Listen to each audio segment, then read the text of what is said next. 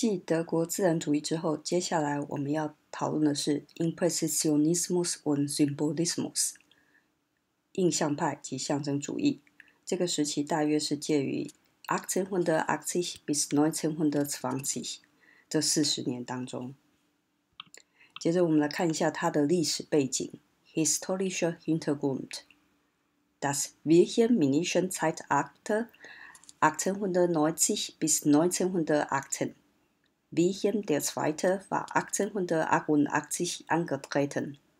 Eine neue Kolonialpolitik sollte Deutschland einen Platz an der Sonne sichern.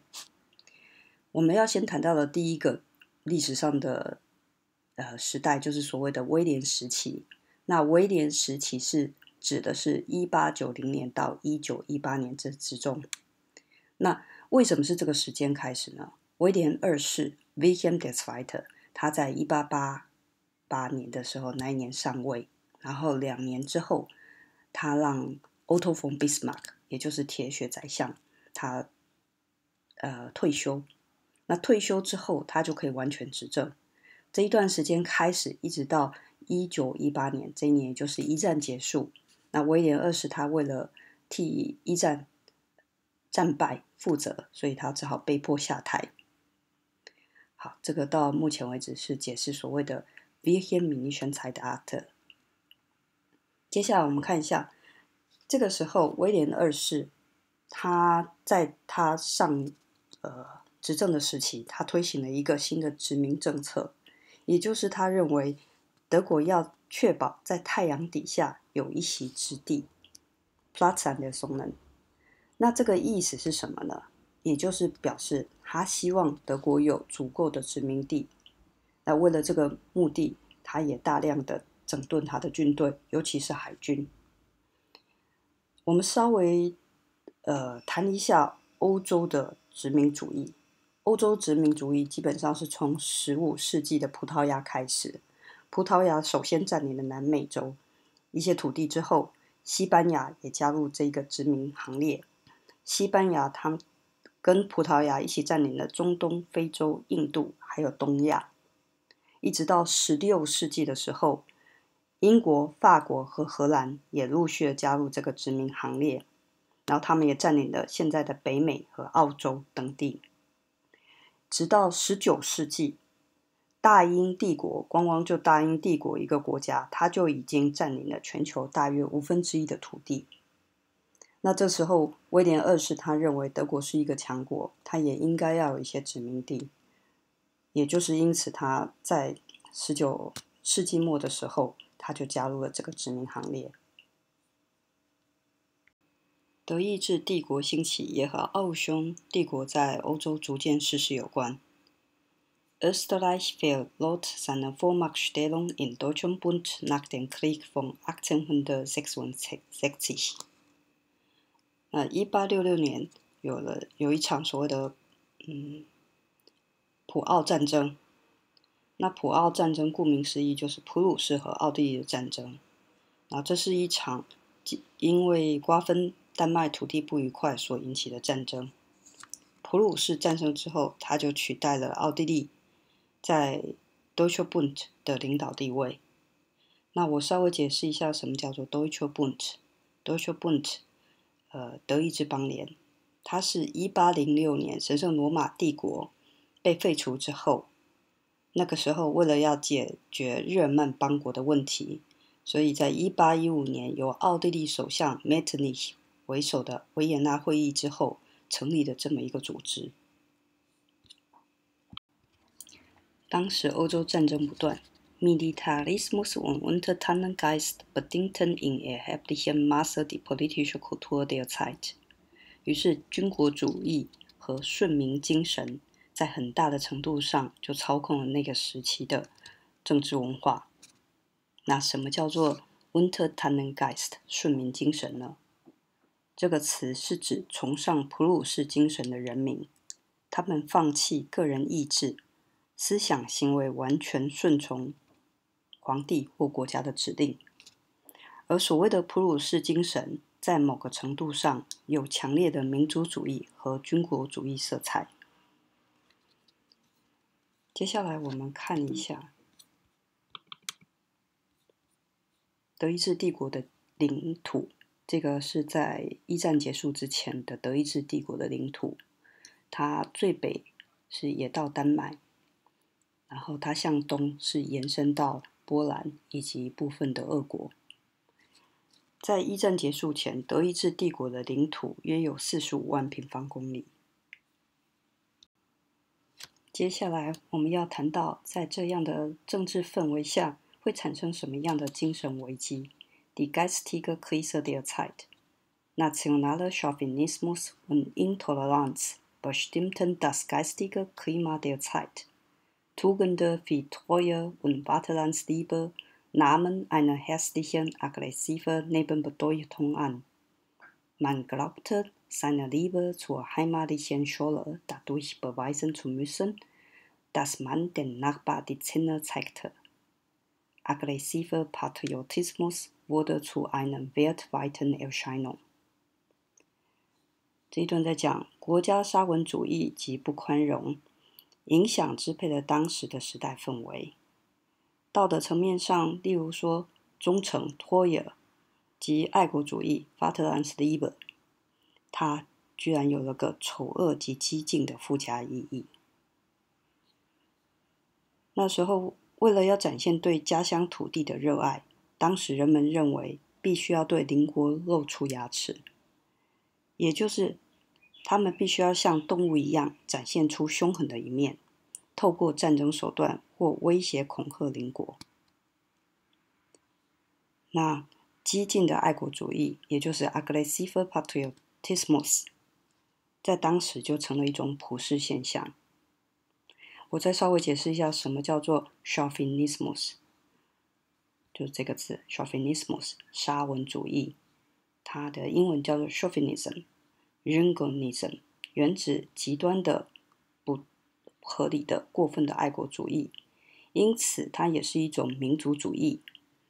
如今的含义也南瓜对其他领域，主要指盲目热爱自己所处的团体，并经常向其他团体怀有恶意及仇恨。Literatur der Jahrhunderte gegen Positionen zum Naturalismus。接下来我们要谈的是世纪交替中的文学发展与自然主义对立的思想潮流。Das Wandersiedler，这个是一个法文，Französisch，它的意思是 Ende des Jahrhunderts，auch Dekadentismus genannt。bezeichnete eine künstlerische Bewegung in der Zeit von etwa 1890 bis 1914. Es war eine kulturelle Bewegung, die den kulturellen Vielfalt zum ihren Objekt machte. Van der s e c k l e 世纪末这个词又称为堕落主义 （decadentismus）。它是一个文学运动，风行于一八九零到一九一四年之间，也就是在一战前。它是一种文化运动。那这种运动将文化堕落的现象 （kulturelle Verfall） 作为他们的课题。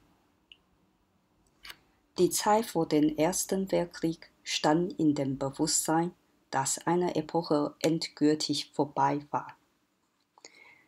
在一战前的这段时间，人们意识到一个时代已经彻底的结束了。Sigmund Freud erforschte die Historie。学术上，弗洛伊德他开始研究歇斯底里，也就是这个字 “hysteria”。hysteria 指的是一种无法控制的感情发泄。这个字源自于拉丁文 “hystera”，它指的是女性的子宫。当时这种病被认为是由于子宫扰动引起的，也就是不安分的子宫在体内四处游走，造成。情绪失控。十九世纪前认为这种病只有透过怀孕才能够治愈，但是弗洛伊德认为这是一种精神问题，而非生理问题。Die Industrialisierung und die Gewerbefreiheit hatten alte Sozialstruktur aber stark verändert. Die Kirche hatte an Einfluss verloren und ein gegenwärtiger Nationalismus führte zu Konflikten。社会层面上，工业化及职业自由大大的改变了旧社会的结构，教堂也失去了对人们的影响力，而无所不在的国家主义也引发了许多争端。Ende und neu beginnt. Endzeit und Krisenbewusstsein. 结束和新的开始，末世及危机意识。其实这一张 PPT 也是在延续上一章我们的主题，就是为什么在这个时代会产生与自然主义对立的思想，还有他们到底做了什么样的改变。Die Autoren stilisierten ihre eigene Lebensweise zu einem bewusst zur Schau getragenen Künstlerdasein. Die Gruppe der Wiener Moderne, der Kreis und Stefan George in München。作家们将自己的生活方式形塑成一种有意识展现的艺术家存在感。例如说，维也纳现代派的作家团体，或者是在慕尼黑以诗人 Stefan George 为首的一个团体。Kritik an Naturalismus。那他们是如何批判自然主义的呢？Philosophisch und psychologisch gegen naturwissenschaftliche Objekt。这时候的作家，他们着重以哲学思维和心理层面，也就是他们强调主观性，用以对抗自然主义的科学客观性。Prima des Inhalts Naturalismus。Gegenüber der sprachlichen Form, vor allem Symbolismus。他们强调以语言的形式，尤其是新的语言的形式，然后这边特别指的是 Symbolismus，象征主义派所强调的，用来对抗那个自然主义他们所强调的内容。Prima des i n h a s 就是强调内容。在这个时期，嗯，有两个很伟大的哲学家，他们的思想同样影响了整个潮、整个时代潮流。阿托·休本豪尔、叔本华，他的《pessimistic Lebensphilosophie》悲观的人生哲学，以及 Friedrich Nietzsche，《Gott ist tot: Der Europäische Nihilismus》，以及尼采的，他大声呼喊：“Gott ist tot！” 他认为基督宗教是一种虚伪的宗教，因为他们，嗯，只着重来世的生活，而不重视现世的生活。所以他认为要以精神意志来克服这种虚虚无的状况，给予生命意义。接下来我们要再介绍一个 Ernst Mach。他是一个奥地利的物理学家，同时也是一个哲学家。他说了这么一句话：“Die Wahrheit kann nur durch eine innere Erfahrung erfasst werden, in der der hinter den Dingen liegende Sinnzusammenhang sichtbar wird。”那 Macht 他认为，要能够掌握真理，只能透过内在的经验，内在的经验。才能够看出事后事物背后的关联性。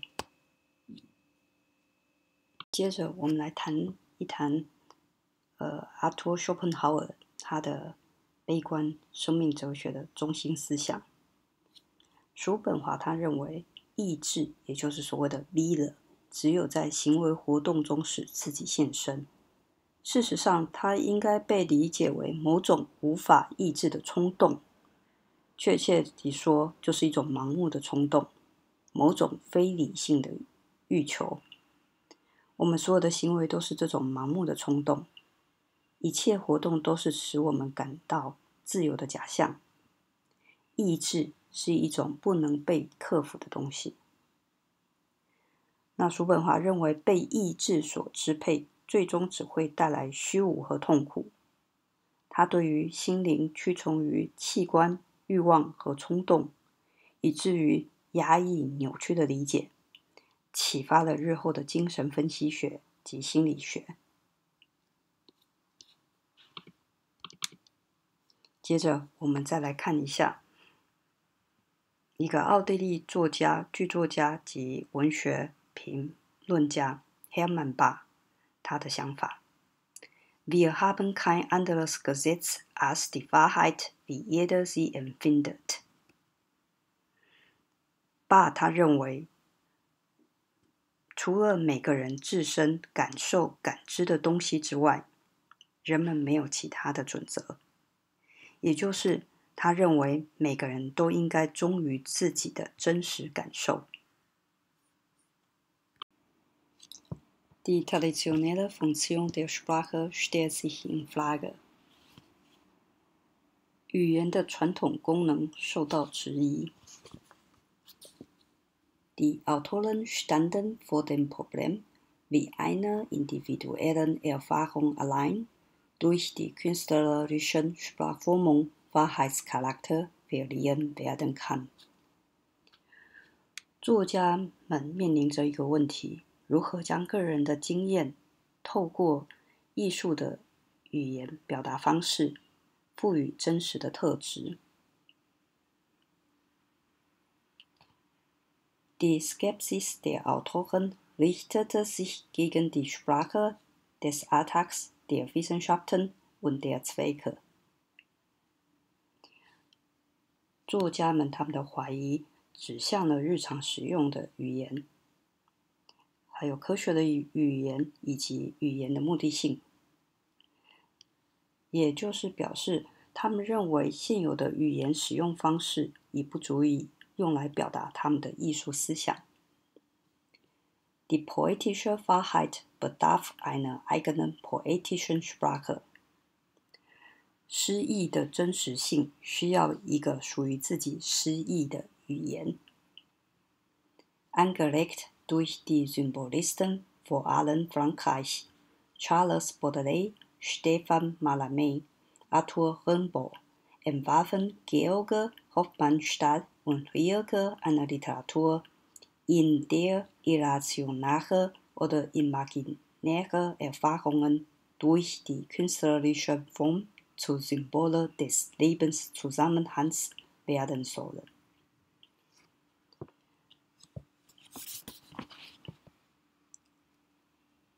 德国的三个诗人 Georg Hofmannsthal 还有 Rilke，他们经由象征派的作家，尤其是法国作家这个 Baudelaire、马勒梅还有 Rimbaud，他们的刺激，他们自己也拟定了一种文学流派。然后这种文学，在这种文学当中，非理性的 irrational，或者是呃，想象的经验，imaginaire Erfahrungen，他们应该要能够透过艺术的形式而成为生活的象征。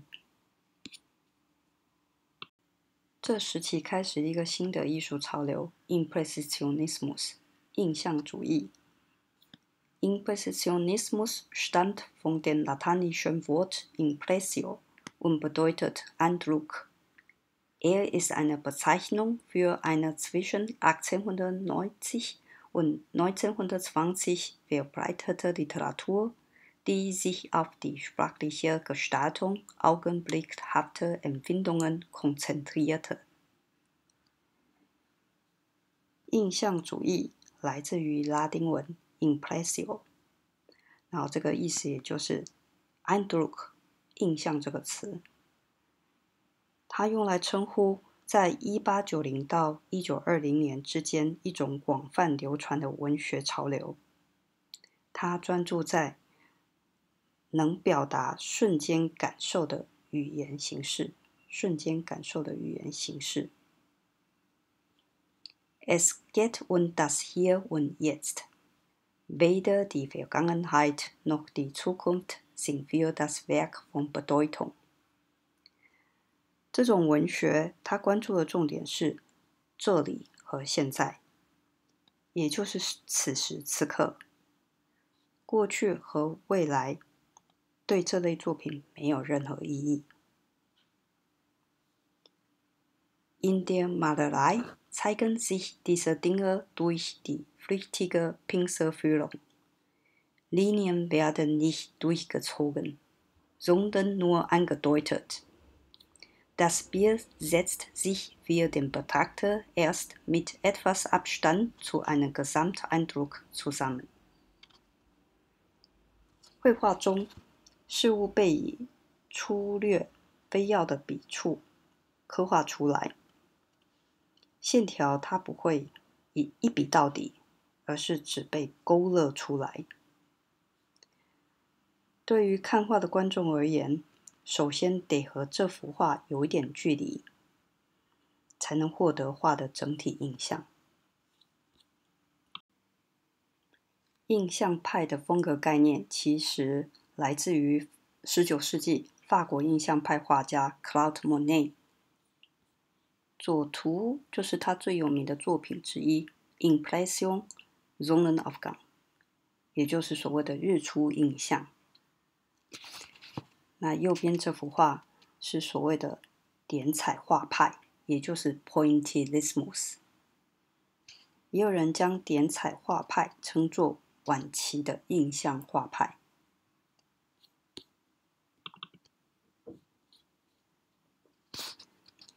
Merkmale des literarischen Impressionismus，文学印象派主义的特征。Impressionistische Lyriker erstreben eine möglichst genaue Wiedergabe persönlicher Eindrücke. Zudem erfassen sie seelischen Stimmungen und das Flüchtige des Augenblicks sowie die Wiedergabe von Sinneseindrücken.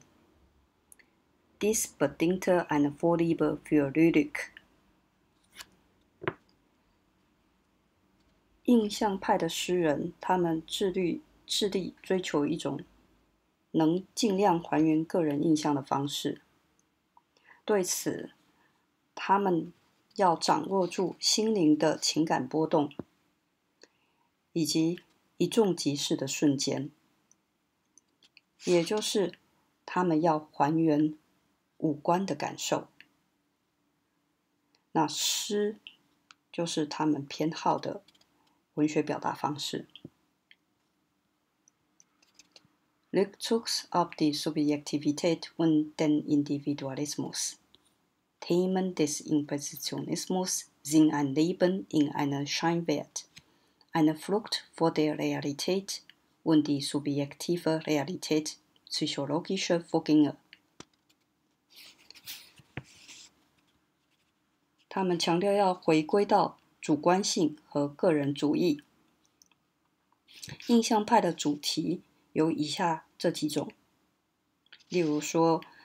表象世界的生活，an Leben in einer Scheinwelt，逃离现实，eine Flucht vor der Realität，以及心理活动过程的主观现实，subjektive Realität，psychologische Vorgänge。Die Subjektivität des Ich spielt eine wesentliche Rolle。我的主观性。在这种文学流派当中扮演了重要的角色，也就是这种文学流派不再着着重自然主义强调的客观性，而是为了要探索表达出个人主观的感受。除了印象主义 （Impressionismus），差不多在同时也有个新的主义引领潮流 （Symbolismus，象征主义）。啊，这个潮流大约是。呃，在一八八五到一九二零年之间，Zu viel Alltägliches wie im Naturalismus missfiel manche Dichten, weswegen es zu einer Gegenbewegung kam。有些作家受够了自然主义文学中过多的描述日常生活，也就因此产生了相反的流派。Diese Dichter wollten lediglich Dichter sein。nicht etwa Bert Verender。这些作家，他们单纯只想当作家， 而不是化身为改变世界的人。Sie versuchten, das Schöne mit Hilfe der Sprache wiederzufinden. Außerdem sollte die Literatur nicht die Natur nachahmen, wie es im Naturalismus der Fall war, sondern reine Wortkunst sein. Die Kunst galt als Wert mit eigenen Gesetzen. 他们尝试要借由语言重新找回美感。此外，他们认为文学不应该只是单纯的模仿大自然，也就像自然主义他们强调的一样，而文学应该是一种纯粹的语言艺术，也就是 reine Wortkunst。艺术被他们视为是一种有一套自己准则的世界。Ein berühmtes Zitat, welches diese Einstellung unterstreicht, ist La Pula: Die Kunst will die Kunst, die Kunst und der Kunst bilden, oder die Kunst nur der Kunst wegen. 有个有名的被引用的词，可以来强调这种立场，也就是法文的 “la p u l a 德文的意思就是，呃，纯粹为了艺术而艺术。那后面这两个句子的意思是完全一样的，也就是艺术只为了艺术而存在。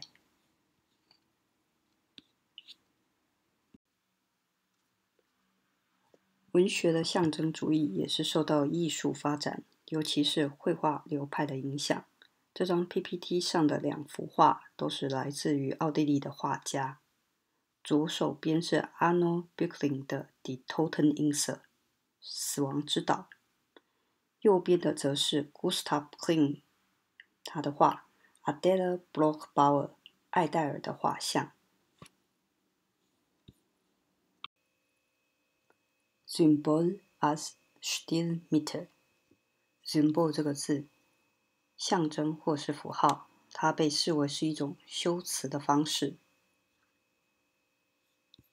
Für die französischen Symbolisten erwies sich einzig das Symbol als ein Ganzes, als ein stiltechnisches Element, welches die Ganzheit der künstlerischen Abbildung der Welt gemäß den ästhetischen Idealen ermöglicht.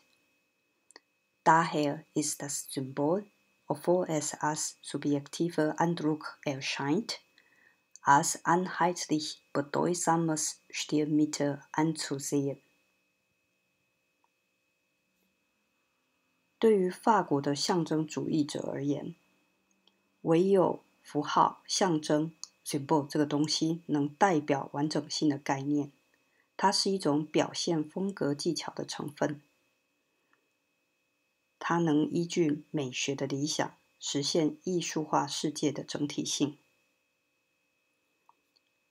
那象征跟符号，尽管它看起来是一种主观的印象，但它之后也被共同视为是种重要的修辞方式。Der symbolistische Dichter schaffte aus Bruchstücken der realen Welt Symbole, Sinnbilder, die, neu zusammengesetzt, eine Welt der Schönheit bzw. der ideellen, ästhetischen und oft auch spirituellen Vollkommenheit ergeben sollen.